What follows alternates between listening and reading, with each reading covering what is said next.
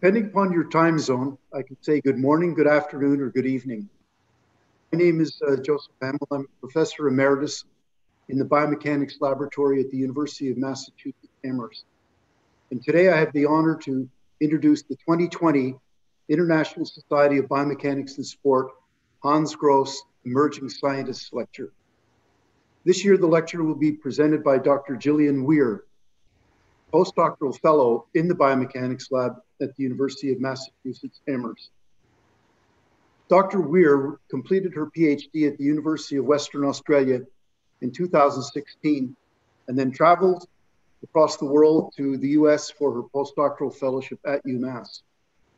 She's been a prolific researcher, having published 19 refereed publications since her graduation. And the majority of these have been uh, as a primary author. She has also co authored a book chapter and published 22 abstracts uh, since completing her PhD.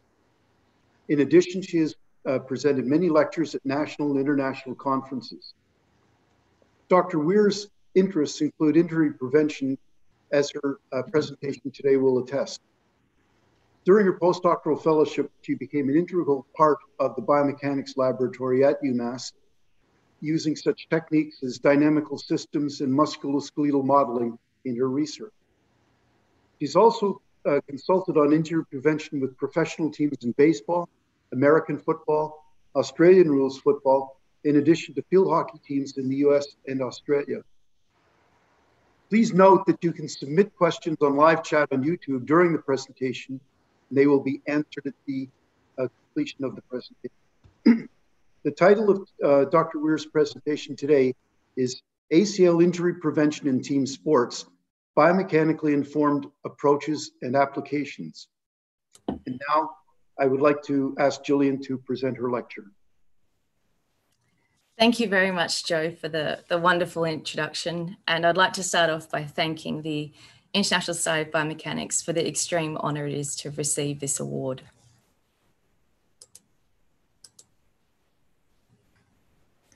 Today I'll uh, be presenting some research that I have uh, been doing throughout my postdoc with Professor Hamill and during my PhD at the University of Western Australia. So I don't really need to tell sports bi- biomechanists that ACL injuries are bad. Um, this one in particular was bad for Australia. Chris Judd was an incredible Australian rules football player. Um, and in the first game of the last season that he was going to play before he retired, he tore his ACL. And uh, these injuries are not only ex- uh, debilitating to uh, football fans, but also to the athlete. Uh, to continue to participate in team sports and multi directional sports such as these, athletes often have to have reconstructive surgery, uh, which combined with rehabilitation takes athletes out of competition for upwards of 12 months. We also know that these athletes have a higher likelihood of uh, sustaining a secondary injury. More than 60% of these athletes don't return to the same level of competition and they're at an increased risk of developing knee osteoarthritis later on in life, which we know is associated with a myriad of health related uh, concerns. So, the focus of my talk today will be on this injury prevention framework, which has been specifically applied to ACL injuries. And what I'd particularly like to present today is some research looking at identifying modifiable biomechanical risk factors of ACL injury and how we can use those to identify high risk athletes and then place these athletes in biomechanically informed injury or re injury prevention programs. So, researchers have been investigating injury prevention strategies for the past 30 or so years, but injury rates have still continued to, to increase. And this is not uh, because the research that has been, been performed is not effective, but we have many different issues with uh, higher sports participation more now than ever, uh, particularly uh, with the pandemic, participating in different sports and um, and different uh, the increase in speed of games and, and rule changes as well. The majority of these injuries are actually non-contact in nature, which is actually great news. Uh, they occur during tasks such as single leg landing and sidestepping. And because they're non contact in nature, meaning there's no contact with another athlete, it essentially means that uh, it suggests that these athletes are, are preventable. We've also seen that females are four to eight times more likely to tear their ACL in sport compared with their male counterparts. And there's a lot of research looking at this, whether it be related to non modifiable anatomical risk factors, uh, modifiable biomechanical risk factors, and also social cultural factors as well. So, what actually causes the ACL to rupture? There's been a number of, of research strategies implemented to understand this. The first being cadaveric research, where we can put cadaver knees into a rig and then apply different forces and torques to the knee joint until the ACL ruptures. We can also have athletes come into the lab and perform sidestepping and single leg landing tasks, as I mentioned, uh, which, which are associated with injury, but we can do this in a safe manner in a controlled lab set setting and look at the forces and torques that occur at the knee joint during these tasks. We obviously can't ask athletes to come into the lab and tear their ACL uh, by performing multiple uh, high risk maneuvers, but we can use the safely measured biomechanics and then um, put them into a computer simulation and tear their ACL in the computer simulation. And from all of these research strategies, we know that externally applied and combined knee flexion, valgus, and internal rotation knee moments elevate ACL strain. We also know for some, from some in vitro research that these moments and ACL strain are the highest during that initial part of stance. So often when you see um, athletes tear their ACL in a match, uh, you can see that happens almost instantly after they place uh, their foot on the ground. So by knowing the biomechanical mechanisms of injury, we can then look at um, how we can modify those the way that those uh, mechanisms or, or, forces are experienced by the body. So with knowing that the ultimate mechanism of injury is a load being applied greater than the tissue's tolerance to withstand that load, uh, ideally we would increase the strength of the ligament itself, but we know ligaments are relatively avascular, so we have to somehow modify the way that the externally applied knee moments are experienced. And there's a couple of different ways that we can do this. The first is we can decrease um, the external, uh, externally applied loads by changing an athlete's technique or kinematic strategy. And there's been a lot of research uh, looking at this, but just to highlight a few points, uh, we've seen that upper body kinematics is associated with both uh, valgus knee moments and prospectively when we look at ACL injury risk. If we think about the mass dis distribution of the body, we know that the upper body contributes to greater than 50% of our mass. So any small changes in trunk dynamics will significantly affect distal limb joint loading. We also see when we uh, when we watch an ACL injury in sport that athletes have a very extended knee posture, and this has also been shown in um, in cadaver studies where low knee flexion angles are associated with ACL strain. And recently, we've seen that, much alike of the running literature, forefoot strike postures uh, reduce knee joint moments as well. So, this is talking about the kinematic strategies, but when the loads being applied to the body are high, we need to modify the way that these forces are experienced. So, to do that, we can increase the muscle support around the knee joint and above. So, it doesn't necessarily need to be the muscles crossing the knee joint, as recent simulation research has shown that non spanning knee. Uh, non-spanning knee muscles um, contribute to, to knee joint moments. So if we increase the strength of the gluteals example, for example, then we can, can help reduce the moments applied to the knee. We also know that, that uh, the quadriceps and gastrocnemius muscle forces co-contract together to increase knee joint compression. And, and by doing that, that helps stabilize the knee joint as well. So we know that these sort of countermeasures are important for reducing ACL injury risk. The last thing that we can play with is perception, which will influence both how we change an athlete's technique and improving muscle support. And this is sort of what I've been working on with uh, Professors Hamill and, and Van Emmerik at UMass for the past three or four years, where uh, if you look here, we have uh, on the left hand side, we have a, a planned sidestep, and on the right hand side, we have an unplanned sidestep for the same athlete. And you can see the whole body dynamics of, of those tasks, while they're the same task, one with just reduced planning time, the dynamics of the movement is extremely different. And we know that in team sports, we perform a lot of reactionary tasks. So the, the athlete is reacting to the ball where the ball is on the field. it's reacting to an opponent to make sure that they can avoid, evade that opponent. And in fact, we know that knee moments are higher during unanticipated sports tasks. So, what is the difference in technique when we look at, at these tasks?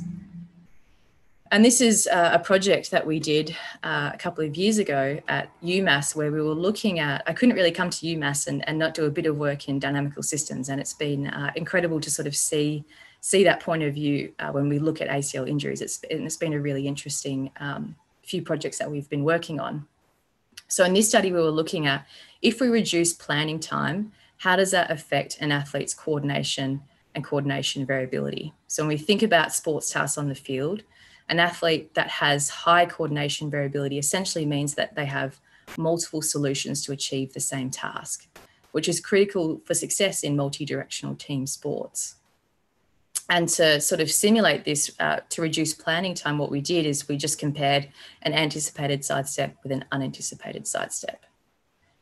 So when we speak about variability, we have a couple of different kinds. So the first being endpoint variability. And if we use the example of me throwing a dart at a dartboard, I always want the dart to hit the bullseye and I don't want it to deviate from the bullseye.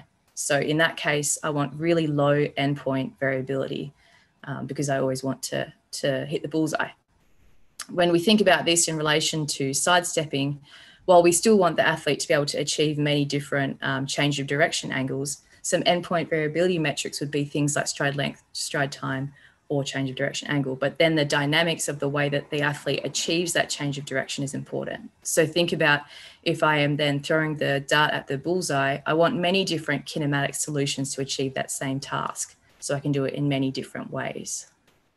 So when we talk about coordination variability, we're essentially talking about the trial to trial deviations in the segment movement patterns and the flexibility of the body system to adapt to the external perturbations. So in this case, we have the athlete reacting to the oncoming player, as well as the, uh, the other players obviously aren't photographed in this, in this image. And we can look at coordination variability on this sort of theoretical waveform where first we sort of we want athletes to have a high amount of variability because that means that the tissues will be stressed in many different ways so we're having forces being applied you know in multiple points in the in the knee joint but if we have too low variability then these stresses are concentrated to one particular area and there's been some research looking at mris across the season of, of the acl and showing that some athletes experience some degradation of, of the ACL as the season progresses, which may be related to this sort of framework. But then on the other hand, we might have athletes who have too high variability, which essentially means that their co- coordination is sporadic and the tissues aren't primed to counter the external loads.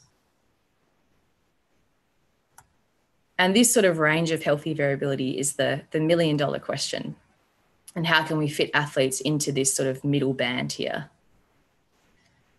So in this study, we had uh, the UMass men's soccer team who kindly participated in this research where um, we had them come into our lab and perform an unanticipated sidestepping protocol where essentially they perform uh, a few randomized sports tasks so that the, the sidestep that's unanticipated, uh, they don't predict because it's the only unplanned task and within that, we, we chose five specific joint couplings based on the literature. So with uh, coordination, we can look at combined postures of joints rather than just a single joint in isolation.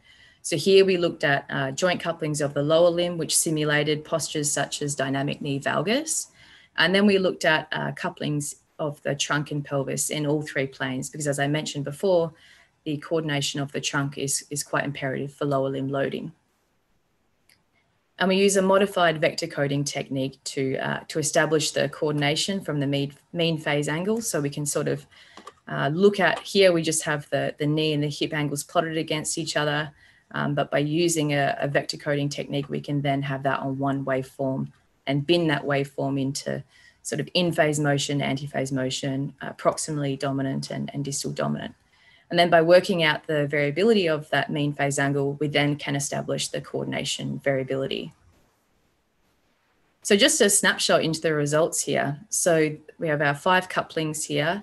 And the key takeaway was that we found that in most of the couplings, when we went from anticipated to unanticipated sidestepping, so we reduced planning time, we saw that coordination becomes more in phase. So the, the movement becomes less smooth and, and less rhythmic when you don't have enough uh, time to plan and initiate the movement. And what we also found is here we have the coordination variability. So black is unanticipated and gray is anticipated. And you can see in general that the unanticipated condition is more variable. And when we look at this with statistical parametric mapping, so the shaded areas essentially uh, indicate where they're significantly different. You can see that the trunk, uh, two of the trunk couplings are, there is much higher variability in the unanticipated condition. And particularly when we look at the lower limb, the variability in unanticipated sidestepping is during that initial part of stance, which is where loading is the highest. As I mentioned before, we know that ACL strain and knee joint moments are peak sort of in the initial 30% of stance. So as task planning time decreases, coordination variability increases. And this is likely a result of um, athletes utilizing more degrees of freedom in order to achieve this more complex task. And these were healthy athletes, remember. So, so none of them were injured at the time of testing. They were all healthy um, and competing at the time. So we still assume that the variability in both of these tasks is within that green healthy window. So the next step for this research would be to evaluate athletes prospectively um, and look at their variability during both sporting tasks to see how that maps to injury in the long term. So I've been sort of talking about the, the stance phase of sidestepping, and which is where a, lot of us have dedicated a lot of our research. But recently, we've sort of been thinking about um, the step before. So in the video that I showed of the uh, planned versus unplanned sidestepping in, in the beginning, we know that the dynamics, even when you watch an athlete approach that cut, is very different. And research has shown that trunk angular momentum has, in the preparatory phase, has been associated with valgus knee moments, which we, know, which we know is associated with ACL strain. So if we modify the preparatory phase either technically or perceptually, and by perceptually I mean we could train the athlete to have a different technique and stance, or we could train the athlete to have better reaction time, we could then have an effect on what happens during the stance phase. And this is some other research that we're working on with one of our graduate students, uh, Sam Zeff at UMass. And he's been looking at this where he's evaluating, evaluating head trunk coordination and eventually gaze orientation during the preparatory phase to see how athletes then plan and initiate movement there. This was another study that we did with uh, Dr. Hannah Wyatt when she was doing her postdoc with Joe um, at UMass a few years ago. And she was interested in looking at the whole body center of mass control during planned and unplanned sidestepping maneuvers. And you can see here we just have a quick snapshot of the um, anticipated condition in blue and we can overlay that with the uh, unanticipated condition. And you can see just by looking at the skeletons that the, the uh, kinematics are different. But when we actually look at the uh, center of mass displacement, you can see that in the anticipated condition, uh, unanticipated condition, it's much more posteriorly displaced. And here we have both the preparatory and the stance phase, and the shaded area indicates again from statistical parametric mapping that those two conditions are different. So in the anterior posterior direction, we have um, a difference in, in the posterior displacement of the whole body center of mass. And then when we look in the frontal plane, we know that um, athletes don't prepare, you know, they're running straight on and then all of a sudden have to, to redirect their movement. So there's much more lateral um, trunk placement. And because of the mass of the trunk, it causes the whole body center of mass to be more lateral in the unanticipated condition. And we know based on the position of the center of mass and the knee joint center, that will have a significant effect on our on knee joint loading.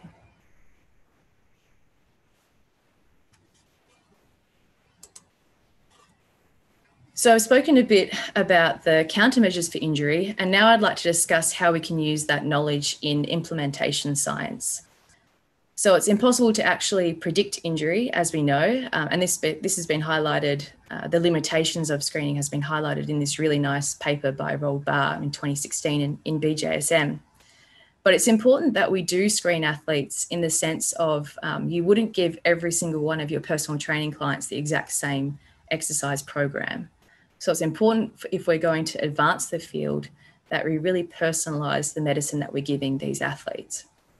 And there are a few steps that we need to take um, in determining the most appropriate way to screen athletes, uh, especially now with the big data science um, venture that we are all on together with our engineering and our computer science colleagues. It's important first that we can establish that our screening tools can be used across multiple labs if we're going to share data. So this was a, a grant that I got, an in, in, international travel grant that I got from the International Society of Biomechanics, and where we had the Hockeyroos, which is the Australian national uh, Olympic field hockey team. They um, we worked with them for a number of years, and they're an incredible uh, group of athletes who I was lucky enough to work with for a few years. And they won the gold medal at the uh, Commonwealth Games in Glasgow. And literally the next morning, they got on a bus and drove to Liverpool John Moores University, where we were working with uh, Mark Robinson and Jos Vanrenterghem, where we had the athletes perform our unanticipated sidestepping protocol in their lab, where we modified code that we used for our unplanned uh, protocol that we used at UWA uh, into their lab. So their technicians were, were really helpful in terms of uh, building a new program. And then a week later, we had them sidestep again in the lab at the University of Western Australia. And so what we found is that if they perform the same, same protocol in two different labs by using the same models, that we can match the, the knee joint moments and our injury risk measures. So we could confidently do that. The next thing is, is what tasks that we actually use to screen an athlete. So we know in sports that athletes perform uh, double leg, single leg, uh, landing, jumping, sidestepping. Um, so this was a study where we were looking at uh, how does injury risk classification change when you screen an athlete with a single leg landing task versus an unanticipated sidestepping task. And ideally, we would screen athletes with you know 50 different exercises so that we could um, we could try and mimic exactly what's happening on the field all of the time. But we know that's not always feasible. So we sort of came up with these injury risk thresholds, which was just based on a Gaussian distribution of this data.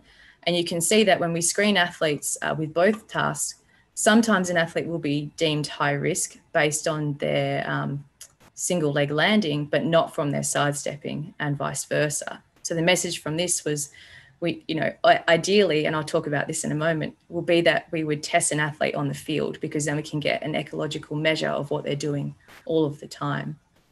And this was a sort of raised the question at ISBS a few years ago. Uh, we had a question at one of our presentations where, um, because we're doing a lot of work with the Hockeyroos, the question was whether we should actually be testing the athletes doing the unanticipated sidestepping protocol while they're in a field hockey specific posture. Um, and what we found is when we compared uh, the unanticipated protocol and compared the knee jo- joint moments across tasks, that in the frontal and sagittal plane that the moments again mapped well between tasks. Uh, we had some differences in internal rotation knee moments, which were attributed in the huge difference in the posture. So you can see that in a field hockey posture, the athlete is extremely flexed as well. So we saw some associations with uh, trunk, trunk flexion and internal rotation knee moments. So while we can measure athletes in the, the lab, and we've all been doing it for a long time, the next sort of critical step in athlete screening is being able to do this on the field. Um, so I would like to talk about a study that we've we've been working on uh, with Hockey Australia with that. But first, I would like to delve into how we've used 3D biomechanical screening to intervene in a professional sports setting. So we worked with the Fremantle Dockers, who is a, a professional Australian rules football team, and as David Lloyd said yesterday, best uh, football code in the world. Uh, you can watch it online at the moment, actually. Um, so we were working with Jason Weber, who's the head of high performance there, and he's probably one of the greatest uh, performance coaches and humans that I've got to work with. And uh, so he's very knowledgeable. And he works within a, a, really great medical and high performance team. And they have a number of informed empirical checkboxes that they use for their return to play and return to perform process. And they came to us because they wanted one last checkbox that they could use when they uh, were when the players were returning to play. They wanted to make sure that they were 100% ready and that they would continue to play for a long period of time. The difference with Australian football or Australian sports in general is that because of our population density, uh, it's really important for us to maintain uh, the long term uh, playing careers of these elite players because we don't have uh, more people to choose from as you do in, in the United States. So I'll just present a case study of one of the athletes that we tested. This player tore his right ACL, uh, which was a non contact during a game. Um, and then, so he came into the lab eight months after he had surgery.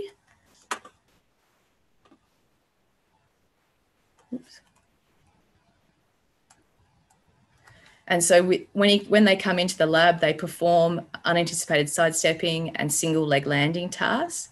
And we perform that both on their contralateral limb and the reconstructed limb. So this is at a point where he's already training and, and returned to sort of almost full, full contact training.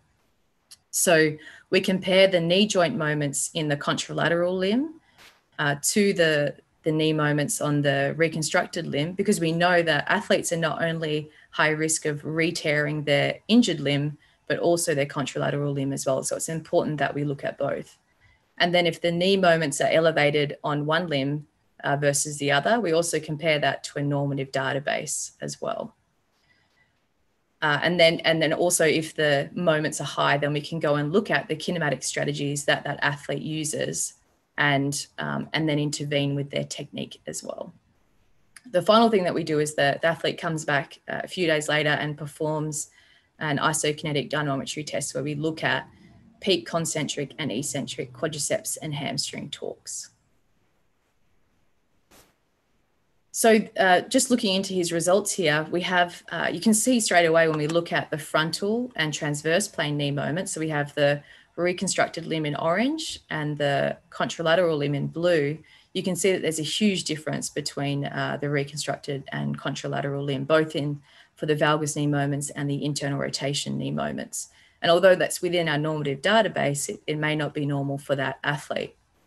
So when we looked at his kinematics, and here we have the, um, the 2D overlay of the 3D biomechanics.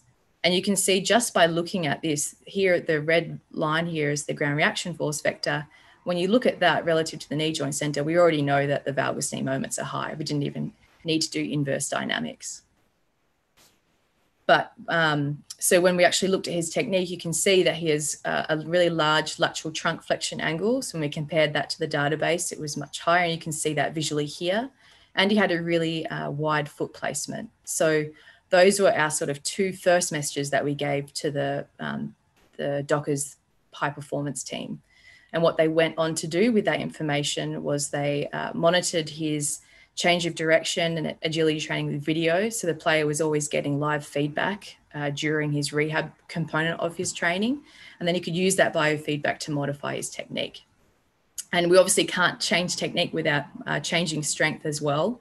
So the uh, strength conditioning coaches were able to intervene with some sort of bracing and dynamic trunk stability work uh, during some, some change of direction maneuvers as well. When we looked at the um, dynamometry results, we saw that the peak concentric quadriceps torques were much lower on the reconstructed limb. And we know that uh, quadriceps strength is associated with long-term uh, knee health-related outcomes. So this was really important for the for the physiotherapist to intervene with. So what we also saw is when he landed uh, from the single leg landing that he didn't have he had a really small knee flexion range of motion. So these results in combination sort of suggest that uh, he couldn't support his knee in, in flexion through the quadriceps. So the, the second intervention was looking at uh, increasing strength around the knee joint to accommodate knee flexion. And so following that, we had the athlete come back in again. So we, we've done multiple retests of the athletes. If they're happy with the first result, then, then he's good to go. But for, for this, in the case of this athlete, he came back and retested his isokinetics and he passed those. And then he returned to play 11 months later. So you can see that by combining our biomechanics knowledge with implementation science and practitioners, that we can work together to um, design sort of really informed return to play strategies. And while 3D screening was an effective tool in an elite setting, it's not quite feasible for community level athletes, especially when we're talking about uh, screening on a mass scale. So as part of my PhD, we developed a two-dimensional video screening tool where we had athletes come into the lab and you can see, see an athlete warming up and practicing the unanticipated sidestep here.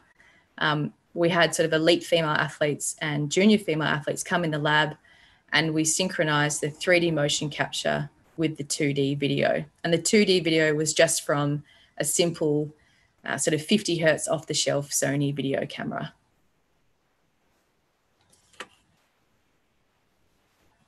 So we looked at the kinematic factors that were associated with ACL injury risk, and these are sort of ones that I have mentioned previously. So things like knee flexion angle, trunk postures, um, dynamic knee valgus. And we could measure these with Silicon Coach. So you could do the same thing with free software such as Kinovea, which we have done separately in another study, or things like Dartfish as well. And we first wanted to see whether we could measure these reliably across testers, because eh, the idea being that we would give this tool to parents and coaches and, and athletes themselves to then measure um, the kinematics, you know, on an, on an iPhone app or something like that. So we found that all of the variables were, we could track those reliably. And then we put those variables into a linear mixed model and a backward stepwise linear regression to see if we could predict the knee joint moments. And so we have these equations where we could effectively predict peak knee flexion, uh, valgus, and internal rotation knee moments from these kinematic strategies. And so there's sort of a mix in between of, of each of those there. And then we obviously had a training and a, and a testing data set, and we saw that when we compared the peak knee moments measured uh, from the 3D inverse dynamics procedures and compared those to our 2D predicted uh, knee joint moments that they matched really well there as well. And so these equations are published and available. However, we still have the issue of digitization, where 2D joint center positions in video analysis software still takes a significant amount of time. And if we want to be sure that this tool can predict not injury risk, but actual incidents of injury, we need to screen hundreds, but probably more likely thousands of athletes prospectively. So one way to combat this is being tackled by Professor Alderson at the University of Western Australia in conjunction with her colleagues here as part of the Digital Athlete Project. And within this project, they've utilised 20 years of legacy motion capture trials and 3,500 of these being uh, sidestepping trials. And Bill Johnson, who's uh, pictured here, finished his PhD at the University of Western Australia a few years ago and what he did was he trained a neural network to predict the ground reaction forces and knee joint moments from the kinematic trajectories. And the final model only needed eight of the 68 markers used in the full body marker set, which is sort of indicated by these, these dots here. And what he found is that um, with that model, he saw that both the predicted ground reaction forces and the knee joint moments, which are in red here, match extremely well with the measured ground truth data, which is in blue. So they overlay each other really well. So while we can remove the force plate, which might be a little bit upsetting for AMTI with the aforementioned algorithms, we can still have the issue of infeasibility of the 3D marker-based motion capture. We can't use that during a live match or a training session. And so this is some of the great work that Dr. Marion Mundt and Corey Morris are doing, where um, where they are going directly from 2D video uh, to the knee joint loads. So we have uh, automatic tracking here of the of the kinematics of the athlete, and then from that we can predict the 3D knee joint moments, which is a huge step because we can go directly and we're going back to 2D video, but we can utilize 2D video from, uh, from a match. And then from that match analysis, we can then measure live on field kinematics and kinetics, which then removes the issue that we have with ecological validity of the tasks that we use within our labs. So the last piece I'd like to talk about today is how we can use um, screening to personalize uh, medicine and personalize our injury prevention training programs. So there's been a, a, wide amount of research looking at injury prevention training, and they've used combinations of uh, modalities looking at resistance, plyometric, balance, and technique training.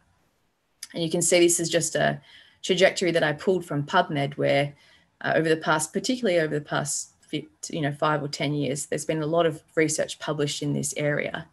And we know in general from these meta-analyses that uh, the injury prevention programs do work. But if you've if you've worked among a team setting, sometimes it's really hard to get a coach to invest in injury prevention training, especially when we have to redistribute the time spent in certain training drills towards injury prevention. So if we increase the feasibility and effectiveness of these interventions, we can get greater buy-in because we know that not all interventions are effective. And that raises a question as to whether if we target training towards um, targeting the biomechanical mechanisms of injury, then perhaps the training can be more effective. So this was something that we looked at where rather than choosing a modality of training, so doing a balance intervention for ACL injury prevention or doing a resistance intervention for pre injury prevention, we looked at instead designing exercises that would target the countermeasures of injury. So we had four key countermeasures that we were trying to target. The first being increasing knee flexion and knee flexion range of motion. So we can use both technique and uh, resistance training to achieve that. Uh, the second message was looking at dynamic trunk control, where, as I mentioned before, uh, there's even been some research looking at simulation studies where if you move your whole body center of mass four centimeters towards the intended direction of travel, you can reduce knee moments by up to 50% in a computer simulation, which is massive. So if we improve the dynamic trunk control, then um, we can help reduce the load applied to the knee joint. The third was looking at increasing gastrocnemius muscle strength. And you see from a lot of the successful training interventions that a lot of them include plyometric exercises, which may actually be um, unintentionally or intentionally targeting this countermeasure. And our last message was we often see this posture a lot in, in ACL injury events where uh, we sort of see a dynamic knee valgus posture. And it's not only a posture of the knee, but it's a posture of the hip. So if we help uh, elevate the, um, the strength of the gluteal muscles, we can help prevent athletes from getting into this posture. So we searched through the literature and we came up with uh, a bunch of exercises. Uh, there are 40 exercises that we came up with.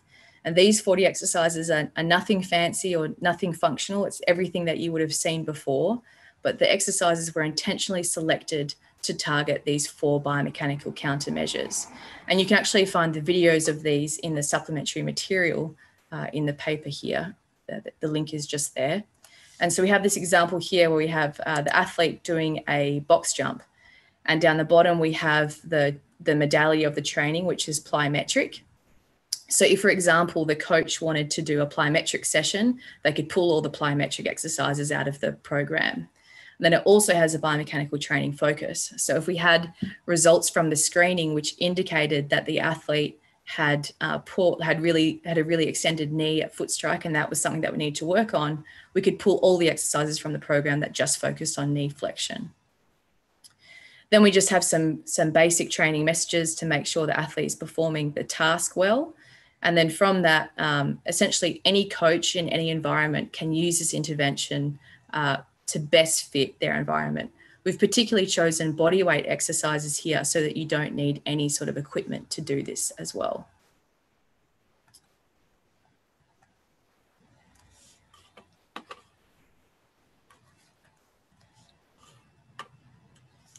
So we uh, implemented this program uh, in the Hockey Australia Hockey Hockeyroos program. And by we, I, I mean the high performance team who were really critical to this research. So Kate Starr, who was the strength and conditioning coach at the time, in conjunction with Jennifer Cook, Carmel Goodman, and Claire Rachichi, worked together to, to pull the, all the exercises that we gave them to then work within their training environment. We obviously researchers working in the lab and not working in uh, the gym and the field where, where they truly understand their, their setting and their sporting setting. So what we did is, what they did is we just in, con, in conjunction we designed a nine week intensive uh, training program where the athletes did four sessions a week 20 minutes per session. And these were interspersed among their gym sessions which is in the video here and then also uh, on the field during their warm-ups. We also wanted to know well is nine weeks really enough? Do we need to maintain something for a little bit longer? So we did a 16 week maintenance training phase. So that was a lower volume Um, and we did three sessions a week for, for 10 minutes a session. And those were all implemented among their warm up.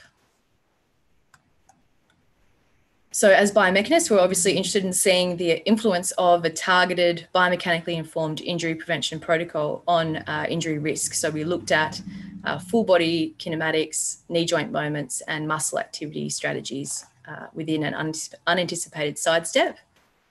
And then, because um, when you again when you're working in a in a high performance team or any team in general, you want to make sure that you're not uh, impeding performance in any way by removing time away spent on on skills and and other performance kind of training. So we also looked at performance where we uh, measured some performance variables. And we have to remember as well that injury risk and performance aren't mutually exclusive. They can uh, the training in both areas can help help the other. And then finally because we want to make sure that our injury risk measures actually translate into prospective injury rates we also measured uh, incidence of lower limb injuries so we measured the intervention uh, in, a, in, an intervention season in 2013, and lucky for us, uh, obviously in an elite setting, they have you know years and years worth of data that they record really well. So we're able to compare this to a regular training season. So the season before we had even started talking about the intervention. And not to spoil their results, but they were quite happy with the way the intervention was run. So they actually continued the maintenance phase, not only for that initial 16 weeks, but for many years afterwards. Um, so, so Kate Starr, who was the performance coach here at the time, has now gone on to work at an AFLW team, the Fremantle Dockers as well, actually, and she's still sort of uh, implementing these kind of injury prevention training strategies. And across those three years, we measured again our injury incidence, injury risk, and athletic performance.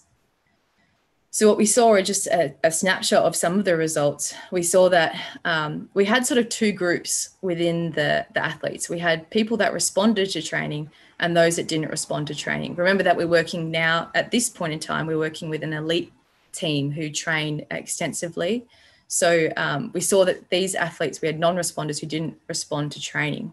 But when we compare them to the uh, responder athletes, the responder athletes at baseline actually had you know, 23% higher peak knee valgus moments, which may indicate that perhaps these athletes are, are slightly at a higher risk of injury.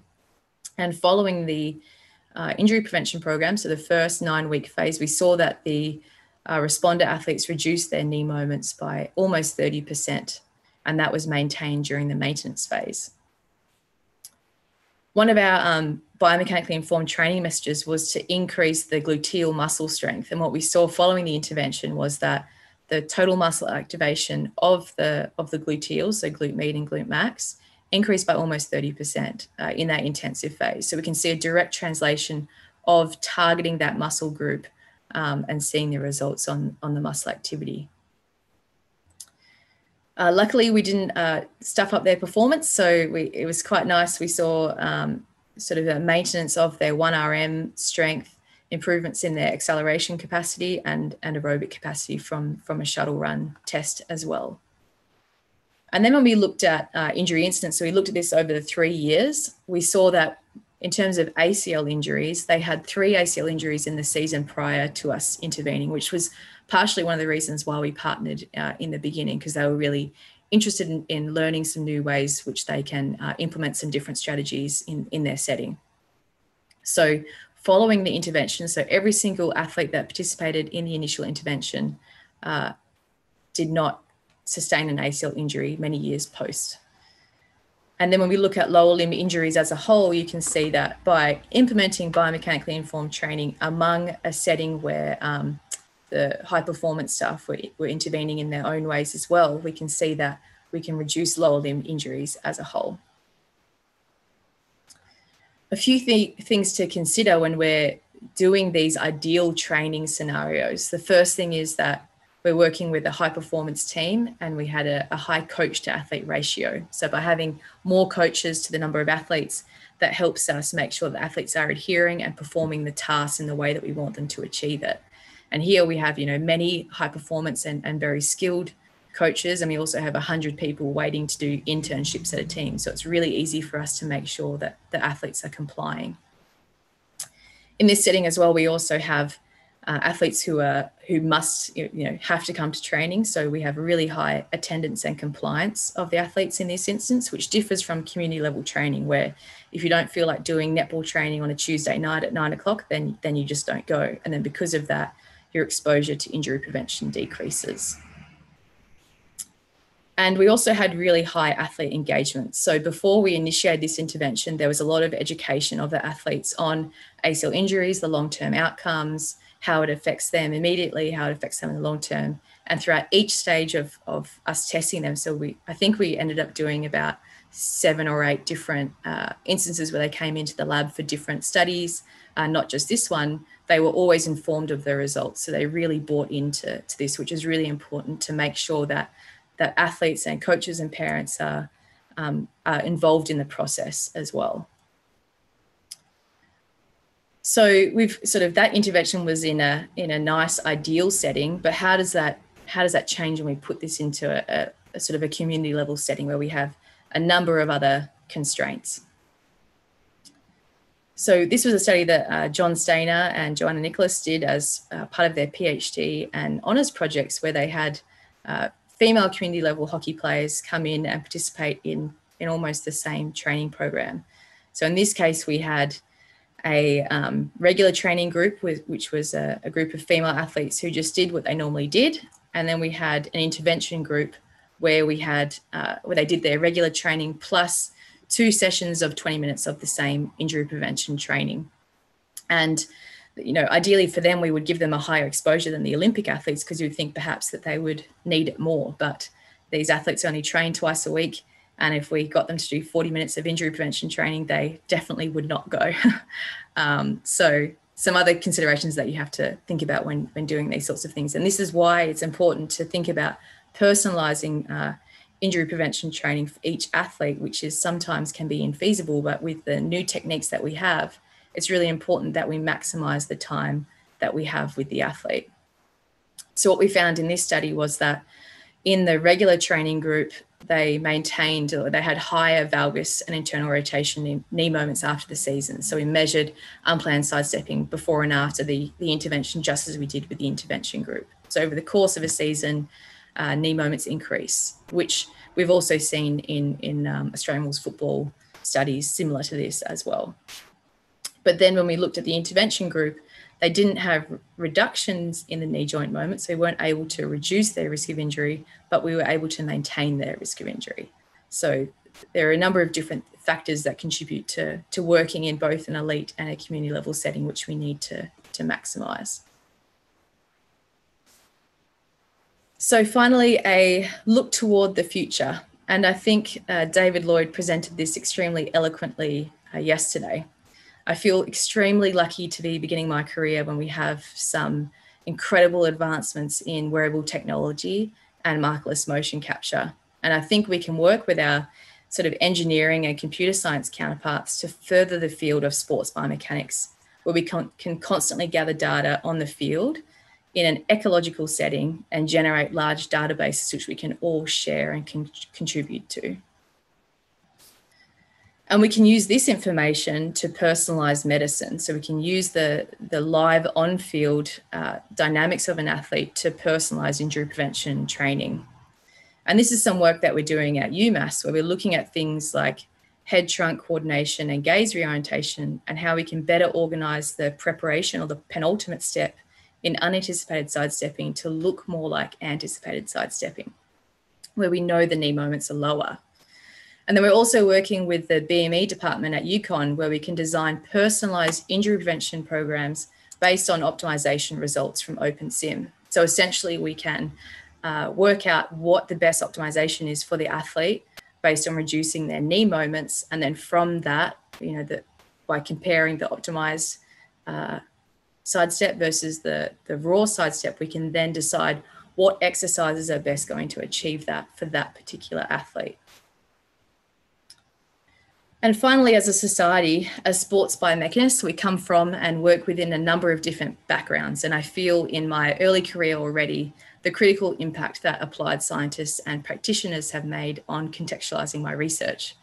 So I feel that working together among multidisciplinary teams will ultimately allow us to feasibly translate our injury prevention messages to coaches, to athletes, and to parents to ultimately reduce injuries in sport and keep us healthy and active for many years to come. So I think this could be another 45 minute presentation on its own, um, but I'll try and keep it brief. I'd first like to thank uh, the International Society of Biomechanics in Sports for this incredible honour. Uh, my favourite place in the world to be in the summer every year is at an ISBS conference. Um, they, I've met some incredible researchers and I've got to meet and make the most wonderful friends as, as part of that. So I highly recommend to, uh, to students to, to keep coming to the ISBS conference. Um, I, I always feel really comfortable presenting my research there. I'd like to acknowledge my funding that I've received from Hockey Australia, the University of Western Australia, and the ISB. And then now to all of my mentors. And I think I could only achieve this with um, the support of the people around me. So, first of all, I think when I read my second year biomechanics textbook, I never imagined that I would spend four years working alongside Professor Joe Hamill. So, thank you, Joe, so much for your support and the knowledge that I'm constantly trying to absorb from you, uh, and also to Professor Richard Van Emmerik. I'd like to thank Matt Trudeau and the team at Brooks Running for uh, all of the applied science and, and industry work that I've got to see and, and work within for the past four years at UMass. To my uh, wonderful PhD mentors, uh, Jackie Alderson, Bruce Elliott, and John Donnelly, thank you so much uh, I have a, a, few people popping up here and sort of people that I've been lucky to work alongside and people that truly inspire me. So thank you all so much. And to my two greatest mentors in life, uh, mum and dad, thank you so much. Thank you.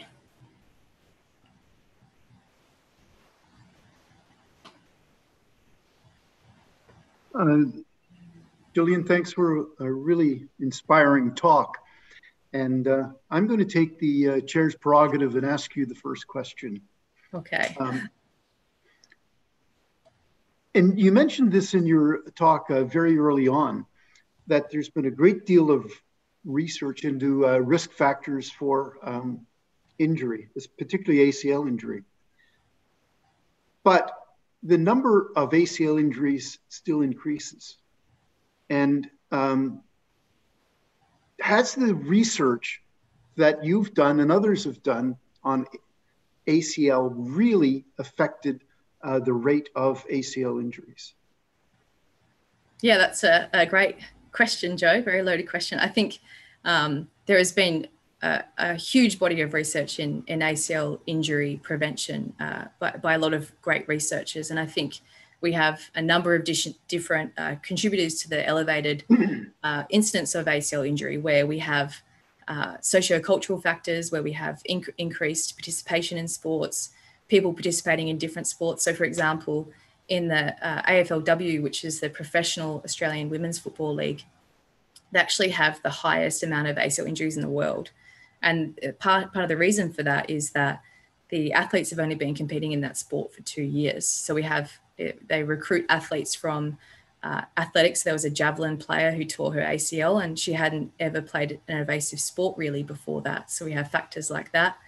Um, but I think that as as a whole, I think the next step is really uh, this on-field wearable and markerless technology where we can uh, perform our research in a really ecolo- ecologically balanced setting. Okay. Um, I have a, a few questions uh, that have come in from the live chat.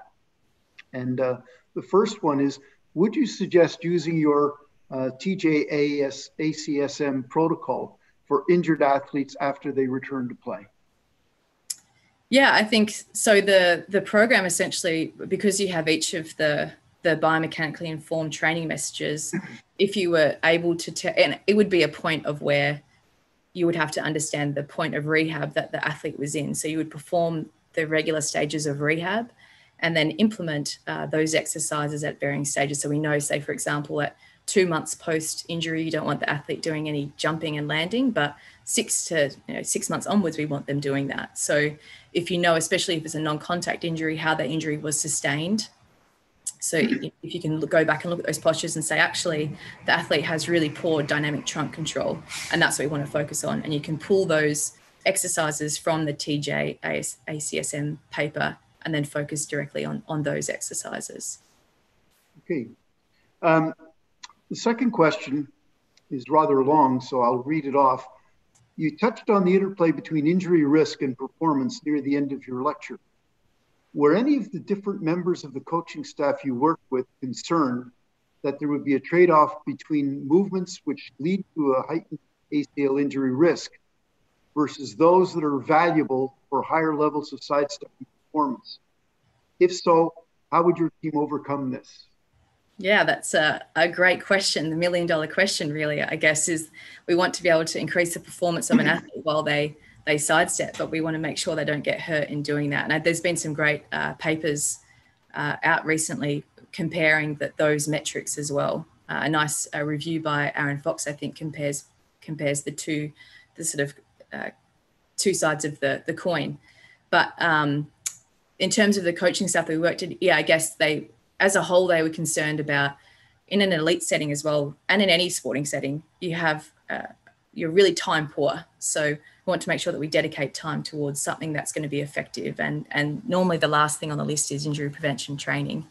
In terms of the like take, you know, if if we're improving an athlete's uh, uh, strength and technique, then then that will translate into majoritively uh, will sort of lead to increases in performance as well. So as a whole, they weren't concerned because at the time they were concerned about the injury prevention metric. But yeah, definitely a huge space that I think we're we're all working towards understanding um, how we can sort of improve both. Okay, and I have one more question, and uh, the question is a very interesting one. We have a lot of student researchers who are members of ISBS Aside from them coming to ISBS conferences, as you just mentioned, what would your top bit of advice be for them as they embark on their careers in biomechanics, biomechanics in sport? Oh yeah, yeah. Um, so I think I've I've been really lucky. I think ISBS does an incredible job of engaging uh, our student members, and I think uh, in get, going to a conference and engaging with with other students, and I think some honestly some of my best friends I think uh, I, I've met through ISBS and we we speak very regularly and, and whether they be from the UK or or Europe I think engaging with them. And, and especially in the current uh, times it's very easy to engage with these these people over Twitter and Zoom and, and organizing catch-ups that way. I also find I think Twitter came around after I finished my PhD and I found that's a great way to sort of you know when you go to a conference and you meet your um, you're like you become a bit of a fan of, of one of your favorite researchers and you meet them at a conference and now you can actually engage with them over twitter. So i think everyone we all love talking about our research and we all love talking about science. So i think it's really easy to engage with your peers uh, over over social media as well um, just one more um, that came in from uh, a very good friend of ours uh, ross miller how accurate do infield estimates of knee moment needs to be to be useful for predicting, explaining, preventing injury? Are there uh, are we there already, or we still need to improve more? Oh, uh, always a great question from Ross Miller. Um, yeah, well, I think the the work that uh, Professor Alderson and the team, uh, as part of the digital athlete concept, they are able to really well match the um, the knee joint moments just from the marker trajectories. And there was a recent paper that that uh, Bill Johnson just published um, that actually used IMUs to predict the the knee joint moments from these these neural networks. So I think we're almost there, and and there are a lot of markerless motion capture technology. I know, I know particularly in baseball at the moment, all of the baseball teams are using markerless motion capture technology, which capture um, capture the the um, the dynamics really well. It's it's amazing to see that it's it's not just a, a, gimmick. It's actually they can you're able to do that really well currently. So I feel like within the next, honestly, five years, I think we're going to see a huge shift in the way that we can uh, perform our research in these sort of really ecologically valid settings. And by using, you know, we're going back to 2D video. We spent all this time establishing 3D motion capture, which I think is is still going to um, be around and still incredibly useful. But now we can utilize the match footage that is always being collected for us. And from that, we can generate huge amounts of, of data that we can investigate together as a, as a group. Um, this is a really interesting question, and this was on my list of questions for you too. Are your ecological measures accurate enough to trust them? Ecological measures in what yeah. in what sense? Well, uh, the measures that you make uh, uh, during game performance. Uh, so, in terms of uh, like match perform or the the measures during the game. Yeah. Yeah, I think I would. Can you trust them? Yeah, I feel like uh, as if I can mirror what I what I just mentioned with with Ross's question, if I'm understanding correctly, I think based on the initial results of of these studies that are coming out of of uh, of other universities, you know, the the R square value, the R values that we compare the waveforms of the knee moments predicted from the 3D motion capture versus the the um, the trained neural networks, the the R values were over sort of 0.95. So I think uh, yes. Okay. Well, we're out of time now, and so I would like to end this session. Thank you, Jill, uh, for an absolutely wonderful talk. Thank you.